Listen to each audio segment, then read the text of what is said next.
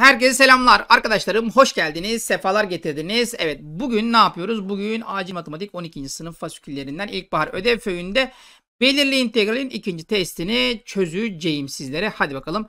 Hiç vakit kaybetmeden isterseniz başlayalım. Şimdi birinci sorumuz. Birinci sorumuz bir grafik sorusu. Grafikli sorulardan hiç korkmayın arkadaşlarım. Sadece yorumlamaya çalışın. Şimdi ben integralime bakıyorum burada. Şimdi belli ki değişken değiştirme yapacağım. Niye? Çünkü f üssü x'i vermiş burada.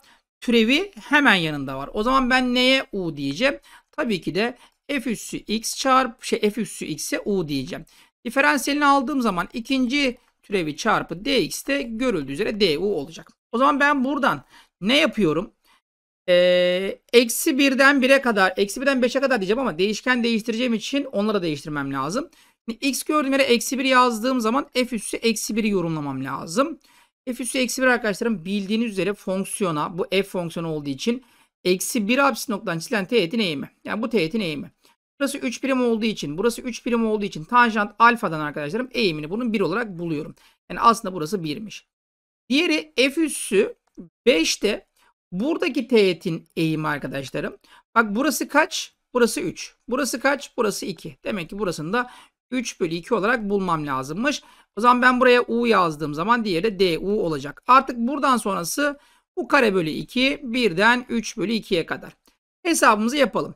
Karesi 9 bölü 4. 2'ye bölsem arkadaşlarım 9 bölü 8. Eksi 1 bölü 2 desem. 4 de genişletsem 5 bölü 8 gibi bir cevap geliyor. Buradan da rasyonel sayılarla işi bağlamış oluyoruz. Tamam mı? Anlaştık mı? 2'ye geldim. Şimdi hep böyle dediğim e, böyle parmak bastığım yerler şuraları. dfx. Ezbere gitmeyin diyorum ben hep. Şimdi şurayı bir ayarlayalım. Sıfırdan 5'e kadar fx yazalım. dfx bunun diferansiyelleri gördüğün zaman içinin türevi çarpı fx yazacaksın. Şey, özür dilerim. İçinin türevi çarpı dx yazacaksın. E bak yine yukarıdakinin aynısı.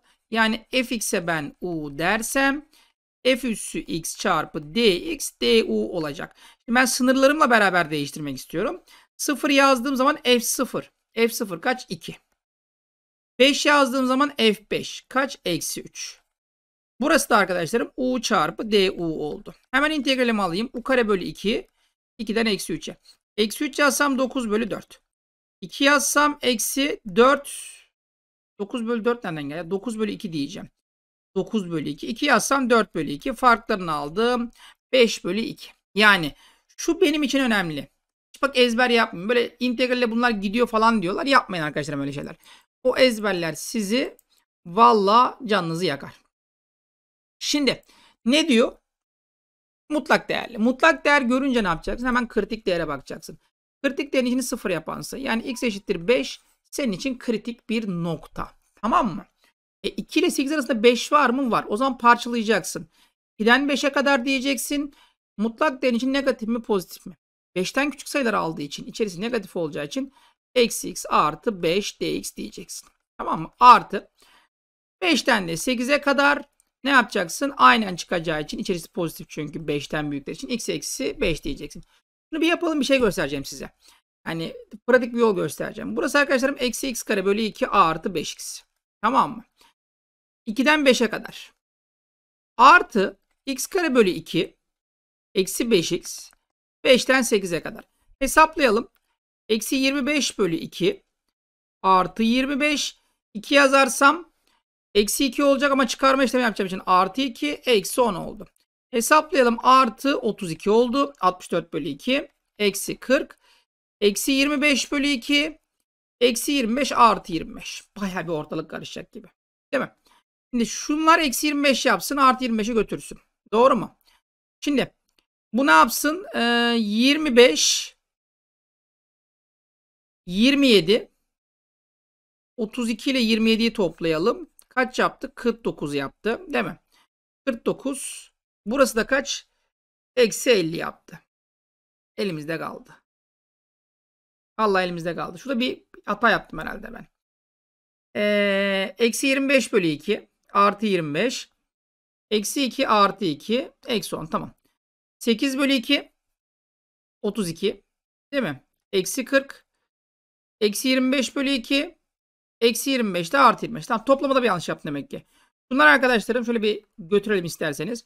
Eksi 25 bölü 2 ile artı 25 bölü bunu topladım. Artı 25. Eksi 25. Bunu götürdüm gitti. Sonra şu kırmızıları bir gönderelim. Burada bir işlem yapalım. Burası 27 olsun. 10 çıksın 17 olsun. Değil mi? Burası ne yaptı arkadaşlarım? 49 yaptı. 49'dan da 40 çıktı. Tamam. 9 oldu. Görüldüğü üzere biraz yoruyor bizi değil mi? Bak ben size şunu tavsiye edebilirim. Şimdi bak. X eksi 5'in grafiğini çiz. Hocam nasıl çizeceğim bilmiyorum. Çok kolay. Bunu çizeceksin. Nasıl çizeceksin? İlk önce x'e 0 vereceksin. y'si eksi 5 bulacaksın. y'ye ne 0 vereceksin? x'i 5 bulacaksın. Bunu çizeceksin. Sonra bunun grafiğini yani mutlak değerini almak için de şu altta kalan parçanın simetrini alacaksın x eksenine göre. Yani şöyle bir grafik olacak. Tamam mı? Bak böyle bir grafik olacak. İkinci yolu yapıyorum sana. Burası 5. Şimdi 2 nerede? 2 burada. Değil mi? 2 burada. 8 nerede? 8 de burada. E arkadaşlarım benim. 2'den 8'e kadar mutlak değerli fonksiyonla x eksen arasında kalan bölgenin alanı değil mi bu? Yani burası 2 ise şuraya kadar 5 ya. E burası 3. 2 attığım zaman bak burası da 3. Bak buradaki alan 3 çarpı 3'ten 9 bölü 2. Artı. Bak burası 3. Bak 8 attığım zaman bak burası da 3. E buradaki alan 3 çarpı 3'ten 9 bölü 2'den da 9 bölü 2 topladım 9. Bak hiç kendimi yormadım. Biraz önce işlem hatası falan yaptım. Ortalığı karıştırıyordum ama toparladım. E hocam burada da mı yapalım aynısını? Şimdi parabol olduğu için yani oradaki üçgenler alanını bulamazsın. Burada mecburen olayın içine dalacaksın. Şimdi bak burası sıfırdan 2'ye kadar. Mutlak değer x eksi şey x artı 3 çarpı mutlak değer x eksi 1 olarak yazılıyor değil mi? Kritik noktam kim? Eksi 3 kritik noktam aralıkta yok. Hiçbir sıkıntısı yok. O zaman 1 aralıkta var. O zaman demem gerekiyor ki sıfırdan 1'e kadar. Birden küçükler için arkadaşlarım bu aynen çıkar. Çünkü hep pozitiftir. Bu da önüne eksi alır. Yani aslında çarptığım zaman eksilisi çıkacak. Yani eksi x kare artı 2x eksi 3. Sadece bunda eksi geldi ya artı 1'den 2'ye kadar e bu da pozitif bu da pozitif. O zaman aynısı çıkacak. x kare artı 2x eksi 3 dx. Şimdi bunları geleceğiz paşa paşa hesaplayacağız. Yapacak başka bir şey yok. Mesela bu x'ten kurtulmak mı istiyorsun? Artı yaparsın. Özellikleri kullanabilirsin. Yani şunu birden sıfıra yazabilirsin. Çok mecbur değil ama yapabilirsin. İntegral alalım. X küp bölü 3 artı x kare eksi 3x. Birden sıfıra kadar. Sıfır yazdım hepsi sıfır. 1 yazsam 1 bölü 3 artı 1 eksi 3. Kaç yaptı arkadaşlarım? Eksi 1 bölü 3 dağıtıyorum artı 2. Yani ve yani 5 bölü 3 yaptı. Bak birinci sayım 5 bölü 3. Artı diyorum. Geliyorum ikincisine. Burası aynı x küp bölü 3. Değil mi? Artı x kare eksi 3x. 1'den 2'ye kadar. 2 yazdım 8 bölü 3. Artı 4 eksi 6. 1 yazdım eksi 1 bölü 3. Eksi 1. Eksi 3 olacak. Çıkarma yaptığım için artı 3. Şu 7 bölü 3 yaptı. Değil mi? 7 bölü 3 diyorum arkadaşlarım buraya ekliyorum. Eksi 2 yaptı. Artı 2 yaptı. 0 yaptı. 7 bölü 5. 7 artı 5. 12. 3'e böldüm. 4 gibi bir değer yaptı. İşlem hatası yapmadıysam. Ama doğrusal bir fonksiyonsa ne yaparsın? E, grafik çizebilirsin. Türevini aldım. Şey integralini aldım. Bir sayı geldi. Hiç kendimizi yormayalım. E sonra hocam türevini aldım. E sayının türevi de tabii ki de sıfırdır. Öyleyse böyle bir soru sorar mı? Direkt bir soruya harcamaz ama böyle aralarda sorabilir. Yani belki bir doğru yanlış olaylarında sorabilir. E üzeri E elen var. E, e üzeri logaritma E tabanında 4x artı 2 dediği zaman E'ler aynıysa tabanlar aynıysa cevap burasıydı. Aslında sana diyor ki sıfırdan A'ya kadar burası 4x artı 2 dx demek istiyor. Logaritma yazmış ama olay bu. İntegralini aldım. 2x kare artı 2x sıfırdan a'ya kadar. a yazalım. 2a kare artı 2a. Sıfır yazdım gitti. Eşittir 12. Rahatlatalım. a kare artı a. 2'ye böldüm 6. Attım buraya eksi 6. Şimdi 3'e 2. Artı eksi. Şimdi a ya eksi 3 gelecek ya da 2 gelecek. A pozitif diyor bak. O zaman 2. Eksi 3 yok zaten de baktım artık A yerine ne yazabileceğiz diye. Parçalı fonksiyon kritik noktaya göre yorum yapacaksın. Kritik noktan kim? 3. 3 aralıkta var mı? Var. O zaman diyeceksin ki 2'den 3'e kadar 3'ten küçükler için x artı 3 artı 3'ten de 5'e kadar 3'ten büyükler için şurası. Yani 3x kare artı 1 dx. E ne yapacağız? Devam. Devam. Hesaplayacağız. x kare bölü 2 artı 3x 2'den 3'e kadar. Artı. Burası da 3x kare x küp yapıyor. x küp artı x 3'ten 5'e kadar. Hadi bakalım bir hesaplayalım. 9 bölü 2 artı 9. Şimdi 2 yazsam 2 olacak. Çıkaracağım eksi 2. 2 yazsam eksi 6. Ve hesaplayalım arkadaşlarım. 9 bölü 2 artı 1'den 9 bölü 2 artı 1 yazalım ya. Belki yanında bir bölü 2'ler gelir. 5 yazsam 125 artı 5. 3 yazsam 27. 3'te 30. Eksi 30. Yani 100 geldi. Burası da 100 geldi. Hatta 101 oldu. 202. 9 daha 211 bölü 2. Yani rasyonel sayılarınız falan tamsa yani ya da hata yapmazsanız hiçbir sıkıntı çekmezsiniz. Gel bakalım buna. Şimdi bir kez şu var. Eksi gördüm. Yani benim eksiyle işim yok. Bir de sınırların böyle küçükten büyüyor olsa fena olmaz. O yüzden ben bunu 2'den 3'e yapacağım. Tabii bir yaptırım olacak bunun. Buradaki eksi artı yapmam lazım. Hani sınırları değiştirdiğim zaman eksi diyordu ya. 2 var arkadaşlarım. 2 tanesi eksi 8 ise bir tanesi 4'tür. Değil mi? Eksi 4'tür. Neyi soruyor? 2'den 5'e kadar 2x dx artı 2'den 5'e kadar fx dx'i soruyor. E burasını biz bulacağız. x kare burası 2'den 5'e kadar. Yazdım 25. Eksi 4'ten 21. Burası 21 yaptı. Tamam mı? E burayı bulmam lazım. Ben bunu nasıl yapıyorum? Ben bunu bilindiği üzere çubuk yöntemiyle yapıyorum değil mi? Şimdi çubuk yöntemi ne diyor bana? Yani ben onu kendi kendime buldum. Vardır da ben kendi kendime keşfettim. Şimdi ne diyor? 2 diyor. Burası 3 tabii ki de. 2, 3, 5.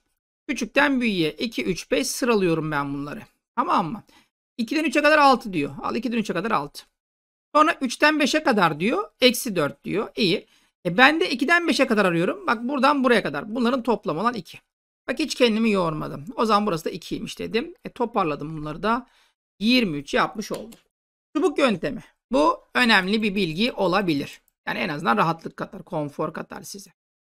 9'a geldim. Böyle bir toparlayalım.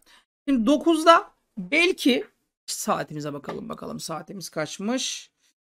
Evet 42 geçiyormuş. 9'da sen x artı 1 bölü 2x artı 1. Bunun integralini alamazsın arkadaşım. Alttakinin integralini de alamazsın. Tamam mı? Orada elenler melenler giriyor içinde müfredat dışı. Ama bizim bunları e, birleştirmemiz lazım. Nasıl birleştireceğim? Birleştirdiğim zaman topladığım zaman da ne gelmesi lazım? Böyle integral alınabilen bir şey gelmesi lazım. Şimdi eşittir buna b diyelim. Tamam mı? Bak bir kez senin burada 2x elde etmen için 2x artı 1 var ya bir kez üst tarafı 2 ile çarpman lazım. Üst tarafı 2 ile çarpsam 2a oldu. Çarpabilirim sıkıntı yok. Bak sınırlarım da aynı ya. Şöyle bir şey oldu. Eksi 2'den 3'e kadar. 2x artı 2 ile 1'i toplarsam 2x artı 3 oldu. Bölü 2x artı 1 dx oldu. Bunun da eşiti 2a artı b oldu. İyi de hocam bunu yaptığında ne oldu yani diyebilirsin. Bak şimdi 2x artı 1 bölü 2x artı 1 desem ben buna. Eksi 2'den 3'e kadar. 2x artı 1 bölü 2x artı 1 dx artı eksi 2'den 3'e kadar 2 bölü 2x artı 1 dx eşittir 2a artı b desem nasıl olur acaba? Bence çok güzel olur. Çünkü niye? Bak burası 1 arkadaşlarım. X artı 1 bölü 2x artı 1 1. İntegrali x. Eksi 2'den 3'e kadar. Artı. Bak şuraya fark ettiysen 2 çarpı 1. Bak 2'yi başka sayı olarak attığım zaman eksi 2'den 3'e kadar 1 bölü 2x artı 1 b. O zaman bak burası burası 2b. Eşittir 2a artı b. E buraya yazalım. 3 yazsam eksi eksi 2 yazdım. Bak burası 5'miş. Eşittir arkadaşlarım karşıya atalım. 2a eksi b'ymiş. B'yi arıyordu. B'yi yalnız bırakırsam da 2a eksi 5 olarak karşımıza çıkar. Değişik bir soru. Evet integralini almak için belki çırpınabilirsiniz ama hiç çırpınmanıza gerek yok. 10. Bak ne yapacağım? Ee, şey yapacağım. Çubuk yöntemi yapacağım. Tamam mı? Direkt gördüm çubuk yöntemi. En küçük kim? 1. Sonra kim var? 7. Sonra kim var? 13. Sonra kim var? 28. Tamam mı? Bak alıyorum. 1'den 7'ye kadar 16. Bak burası 16'ymış. 13'ten 28'e kadar bak burası. Kaçmış? Eksi 82'ymiş. 1'den 28'e kadar eksi 30. Ha bir de 28 varmış. 28 nereden geldi? 13. Ha o zaman yapacak bir şey yok. Bunları düzenleyeceğiz. 28'i görmemişim ben. Şöyle bunu düzenlemem lazım benim. 1, 7, 13, 28. Ha 13, 28. Başka yok mu? Tamam bu kadarmış. 1'den 7'ye kadar 16. 13'ten 28'e kadar eksi 82. Değil mi? 1'den 20, 28'e kadar eksi 30. Bak 1'den 28'e kadar eksi 30. E şimdi bak. Buradan buraya kadar A olsun. Bunların hepsini toplayınca burası yapacak arkadaşlarım. Toplayalım. Ee, toplayalım. A. Eksi 82 ile 16'yı toplayalım. Şunları bir çıkaralım. 6. 7'den 1 çıksın 56. Eksi 56 eşittir eksi 30 oldu. Değil mi? Doğru mu oldu? 7'den 1 çıktı 66 oldu. Değil mi? 66. O zaman A eşittir karşıya atarsam 36 oldu. Ama A ne? 7'den 13'e kadar. O 13'ten 7'ye kadar sorduğu için de eksi 36'yı diyeceğim. Çubuk yöntemi bu. Çok basittir. Hiçbir sıkıntı yoktur. 11. 10 do- doğru mu arada? Doğruymuş. 11 ile bu işi bitirelim. Ne diyor? Kök x eşittir u diyor. Değişken değişimi yap. Yapalım arkadaşlar. Şimdi ilk önce x yerine ben 0 yazarsam 0 olacak. 4 yazarsam kök 4'ten 2 olacak. Şimdi f f ne olacak? u değil mi? Bölü kök x yerine yazacağım. u yazacağım. Çarpı dx yerine yazacağım. Ben bunun karesini alırsam x eşittir u kare dersem dx eşittir 2 tane u çarpı du olacak. O zaman buraya 2 tane u çarpı du diyeceğim. Bunlar gitti mi? Gitti. O zaman neyi arayacağım ben? 2 fu du'yu arayacağım. 2 fu du bak sınırlarda sıfırdan 2'yi elimle koymuş gibi zaten bulmuş oldum. Evet bir çırpıda anlattım ha. Zaman biraz kısıtlı bu aralar. Bir çırpıda anlattım. Alan hesabı test 1 ile bir dahaki videoda devam edeceğiz. Geldim ben buradayım. Şimdi bunu da hallettik. Yavaş yavaş sonlara doğru geliyoruz arkadaşlarım. Son tekrarlarımızı yapacağız. Aman diyeyim bırakmayın. Aman diyeyim bırakmayın. Bak bu aralar havalar ısınmaya başlıyor. Kesinlikle bırakmayın. Sizlere güveniyoruz. Tamam mı? Kendinize iyi bakın. Hoşçakalın. Allah'a emanet olun.